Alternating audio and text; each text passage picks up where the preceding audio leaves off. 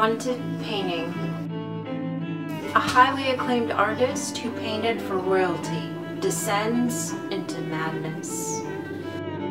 An Arctic sailing expedition that ends in tragedy. This is the story of Man Proposes, God Disposes. Everyone and welcome back to my channel or simply welcome if you're new here. My name is Jaime Leigh and I'm a mixed media artist. Here on my channel I do time-lapse art videos, lightbox videos, and art tutorials. I also do a series of what I call weird art videos. These include talking about haunted art, art and true crime, cursed art, and more. I will leave a link to my weird art video playlist above my head if you want to go check them out. Today's art video is a weird art video where I will be talking about the fascinating story of the Edwin Landseer painting Man Proposes, God Disposes, and how the fact that it may be haunted is just the start of the story. If that sounds interesting and you would like to see more videos like this, please hit that subscribe button and ring the bell to be notified of when I upload new videos. Now before I ramble on anymore, let's get into today's video. Back when I was researching for one of my haunted art videos, I came across more paintings than I was able to include. And I figured I would make a part two where I would talk about some of the other supposedly haunted artworks that I had found. This painting, called Man Proposes, God Disposes, by Victorian artist Edwin Landseer came up in practically every article I researched regarding haunted paintings. So I figured I would go ahead and include it in this round.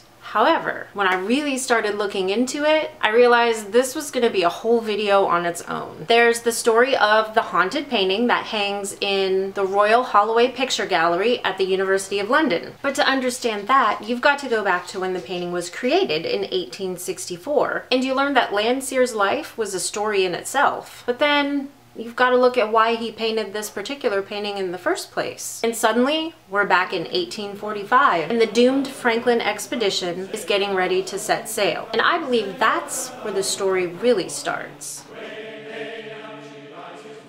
On May 19, 1845, the HMS Terror, who thinks of these names, that person should be smacked. And the HMS Erebus set sail with 129 men under the command of Sir John Franklin from Greenhithe Harbor on the River Thames, Kent, England. Their mission? To locate the mythical Northwest Passage, a rumored path between the Atlantic and the Pacific Oceans through Arctic inlets in Canada. The race for discovering the Northwest Passage had been going on for some 400 years, and Britain really wanted to be the ones to discover it, as it would open up a trade route between the United Kingdom and Asia that Britain, one of the world's most formidable countries at the time, knew would secure their spot as a global superpower. As a side note, the Northwest Passage had been the target of expeditions for 400 years, but it wasn't until the 19th century that the possibility of of there being a path at all was a reality since the whole area was blocked with ice in the years before that. Hashtag climate change. The Franklin expedition never had even the tiniest doubt that they would succeed, as the phrase, the best of the best,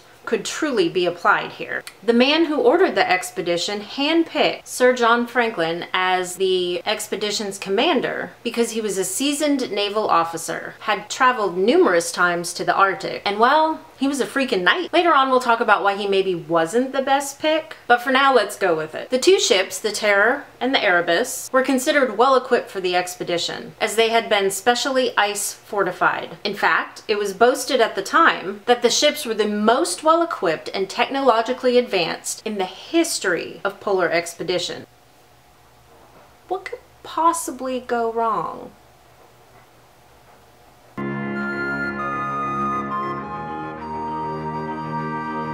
In addition to the ships being in tip-top shape, they were also stuffed with enough supplies to last up to seven years. This included 32,000 tins of meat and veg, 1,000 pounds of raisins, 580 pounds of pickles, flour, liquor, wine, chocolate, tea, tobacco, soap, candles, lemon juice to fight scurvy, and piles of wolfskin blankets. The ships also carried school supplies and a library so the men could study at sea, an organ, and a camera. After leaving England, the ship sailed across the North Atlantic and rounded the southern tip of Greenland. They stopped at Disko Bay on the west coast of Greenland to write letters home, slaughter some fresh beef, and for Franklin to fire five of the crewmates for disorderly conduct and send their butts home.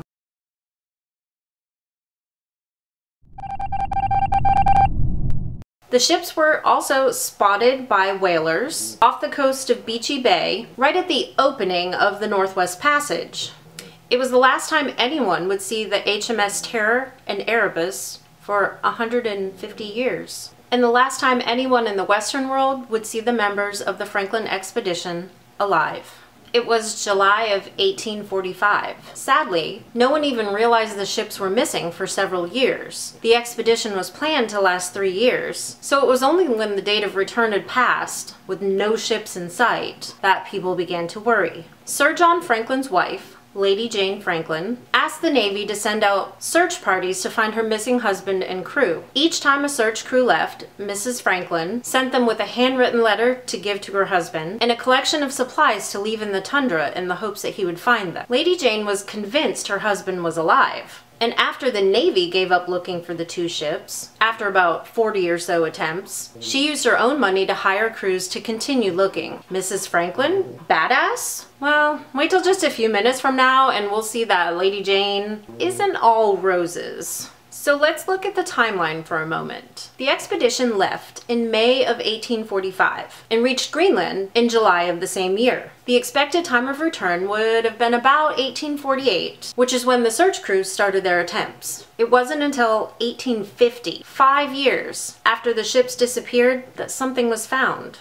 On uninhabited Beechey Island, past Arctic Bay, Searchers found evidence of a primitive camp, including a crude stone hut, empty tin cans, etc. They also found three gravestones with the date 1846. These were the graves of three crew members from the Franklin expedition, John Hartnell, John Torrington, and William Braine. In 1854, more information was found. Incredibly disturbing information. An explorer by the name of John Rae was also attempting to map out the Northwest Passage and was traveling and living in the Arctic off and on as part of this task. He was also part of several of the official Franklin expedition search parties. When he came upon an uninhabited island known as King William Island, he found evidence that someone had been there. He met and talked with the native Inuit who lived near Pelly Bay, as he spoke their language and had earned the respect of many of the native peoples who lived in the area. And boy, did the Inuits have a story to tell. According to Scotland's The National newspaper, quote, Inuits also told Rae there were dead white men west of the Black River and sold him artifacts such as silver cutlery, a gold hatband, and buttons which he identified as part of the Franklin expedition, unquote. The Inuits also pointed John Rae toward a pile of human remains. Rae observed mutilated, emaciated bodies, bones cracked in half and marred with knife marks, and kettles with telltale contents inside.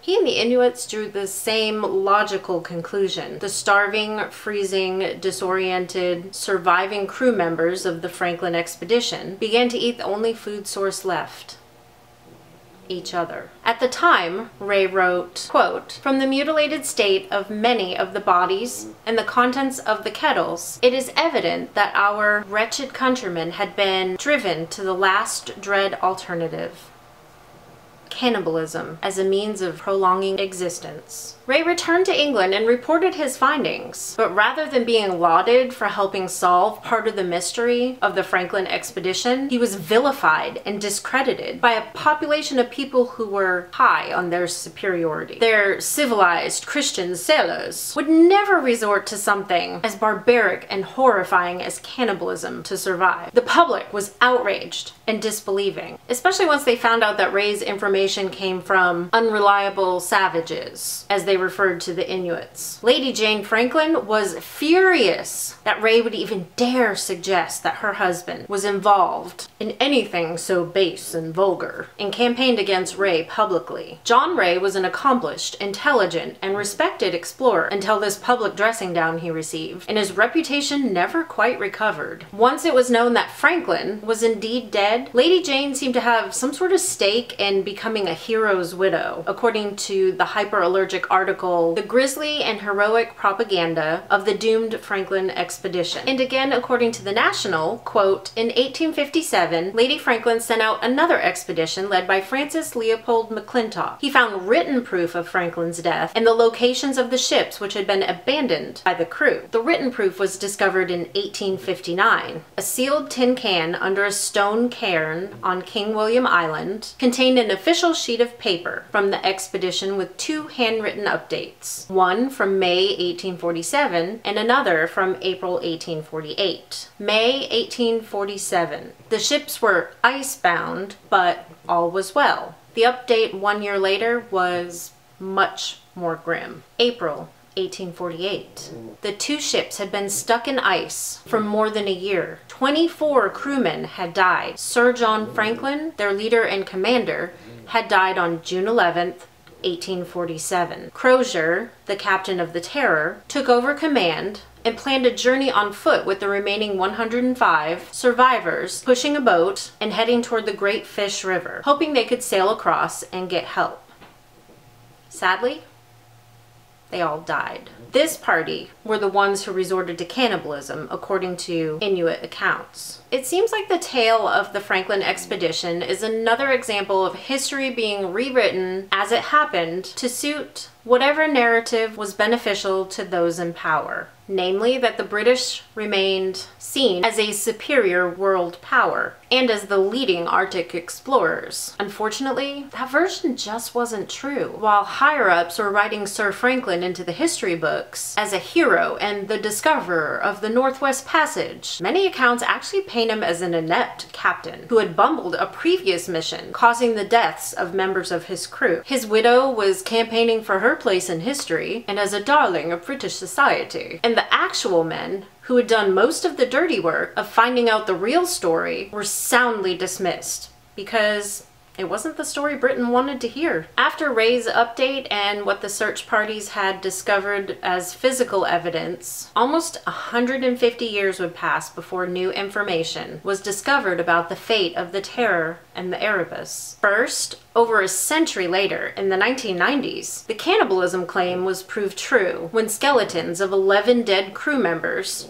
were found with saw marks on the bones. And remember those three graves on Beechey Island? The bodies of the three crewmen who were buried there were exhumed and studied in the early 1980s. And the preservation of the bodies in the Arctic permafrost was a surprise even to the researchers. They were still almost completely intact, although one had had an autopsy performed on him, likely because the expedition's doctor or the ship's higher ups were puzzled as to why men were dying so soon into the journey. Although there still isn't a perfect agreement on what actually caused the men to die, most agree that a combination of the following led to the demise of all 129 men. Elevated levels of lead, either environmental or some leaking into their meat and vegetables from the tinned food, tuberculosis and pneumonia, and exposure or starvation. Extensive testing was done done on the three corpses that were found and like mm. fingernails and pieces of their hair were taken so that they could take those to the lab and find out you know, what was going on that these men had died. But then the three crewmen were reburied in their same grave locations. The ships were finally found after 150 years of searching by Canadian expeditions in 2014 and 2016, but not where they were known to have become stuck in the ice in 1848. Both ships were found sunk off the northwest coast of King William Island, a fair distance from Beechey Island. Inuits had said at the time that some members of the expedition returned to the ships and sailed south, and the location of the ships when they were found sunk seems to confirm this. The Terror and the Erebus are still being explored, and many people are hoping for some well-preserved evidence, hoping that these ships lost in time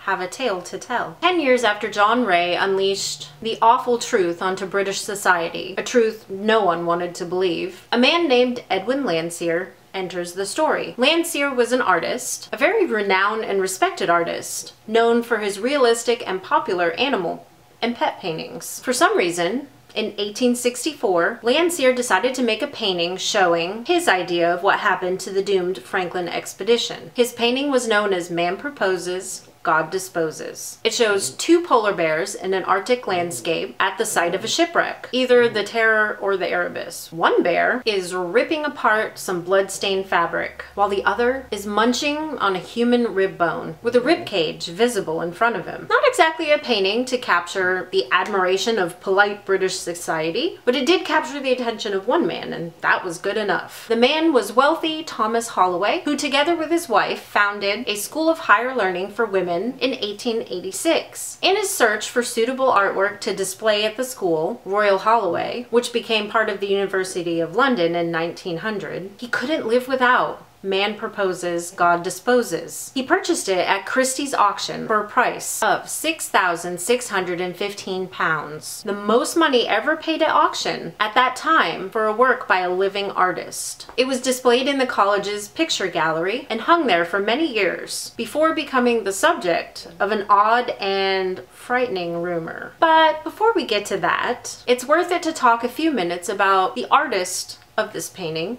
Edwin Landseer. For his story among this bigger strange tale is also incredibly interesting and tragic.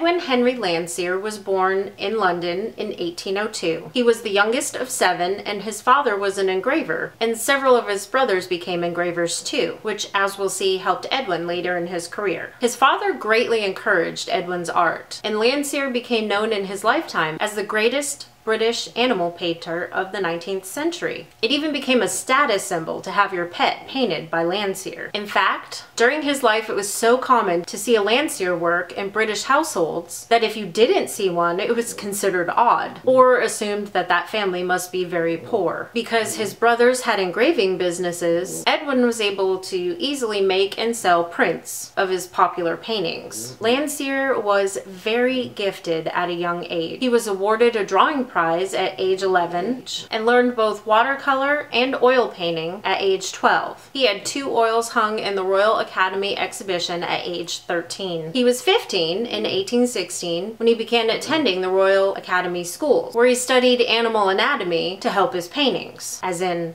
dissecting. As a young adult, he traveled and painted and made fans ranging from Sir Walter Scott to Queen Victoria and Prince Albert. In fact, he was so well liked by Victoria and Albert that he stayed with them at Balmoral, was knighted, and taught them etching. Then, suddenly, it all fell apart. Most people say that Landseer's troubles began when he was commissioned by Victoria and Albert to create a large family portrait, a commission he accepted but never completed. It was said that his inability to complete this portrait began his downfall. He had a mental breakdown over not finishing the painting and became extremely depressed, a condition that would haunt him for the rest of his life. Possibly adding to the breakdown was the refusal of his marriage proposal by the Duchess of Bedford. In everything I looked at, it was pretty much universal that Landseer's mental troubles and the failed commission happened around the same time. It's a chicken and egg question for me, honestly. Did the commission cause a mental stress that he never recovered from? Or did he have some mental issues for a while that he was able to deal with, but the failed painting just pushed him over the edge? It is a question that we will not be able to answer, but I felt was interesting to mention, since we are becoming much more open about mental health now. And this happened at a time when mental illness was not at all understood or supported, as we'll see in a minute.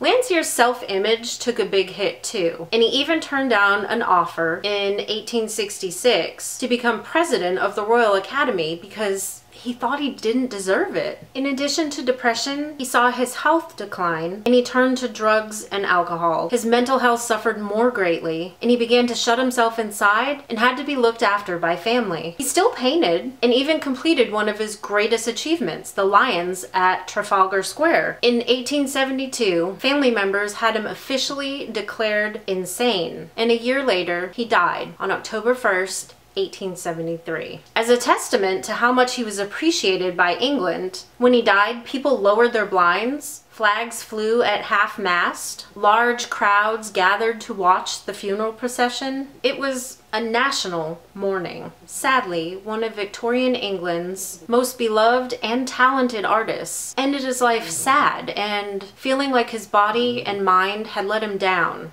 while battling mental demons that eventually consumed him. But did those demons, or demons of a different kind, take up residence in one of his paintings? Specifically, the work he created in 1864 named Man Proposes, God Disposes? Are the rumors surrounding the painting even today a ghostly mystery, or just college kids having fun with a believable urban legend? Let's take a look at how this gruesome painting by a brilliant but mentally ill painter about a tragically doomed Arctic expedition supposedly turned out haunted.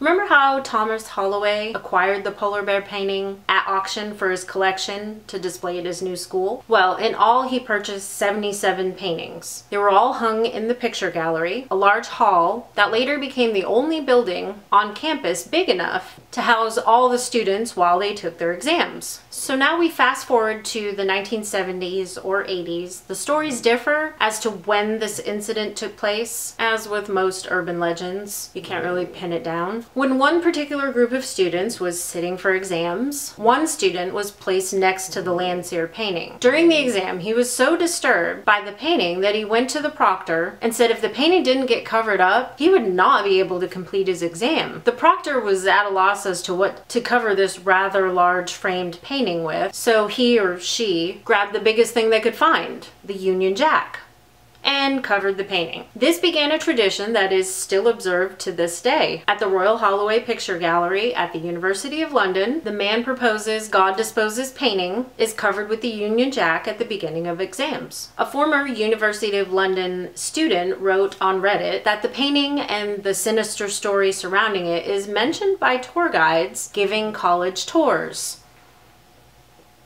And why is that? It's not just because the painting made a student feel uncomfortable during exams. It's because the painting allegedly made one student so uncomfortable that he or she left their exam unfinished, left the hall in a disturbed state, and took their own life. Later, when the proctor went to collect the student's abandoned exam paper, the only thing written on it was, the polar bears made me do it. Great story, right? What a fantastically spooky college urban legend. The only problem is there's absolutely no evidence to support the suicide story, but it's told by tour guides, students. The painting is covered each exam season. The story has spread far and wide in internet haunted painting compilations. And yet, no one knows if the legend is actually true. Maybe it's just another creepy piece of the puzzle that was started way back in 1845 when two ships left the harbor on an ill-fated voyage that involved tragedy after tragedy that spread across 150 years of history, which leads us to the question, was the voyage cursed from the start? Why did Landseer's life take a nosedive soon after creating a painting about the Franklin expedition? Why has the painting been plagued by rumors and reports and of people feeling disturbed by it to this day? Despite all we now know, the answers to some of those questions may always remain a mystery. And that is the tale of the haunted polar bear painting, Man Proposes, God Disposes. I hope you enjoyed this video. If you did, please like or comment. Hit that subscribe if you want more videos like this one, and ring the bell to be notified when I post new content. Also, if you have a suggestion for something you'd like me to cover, please leave a comment below. And as always, thank you for spending your time listening to this story. And I hope you have a great rest of your day. Bye!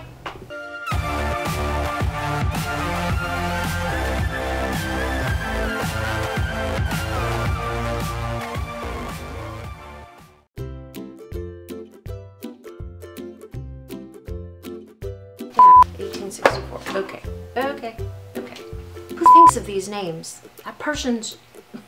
That person should be... That person... Oh my god. and learned both before... As a superior war...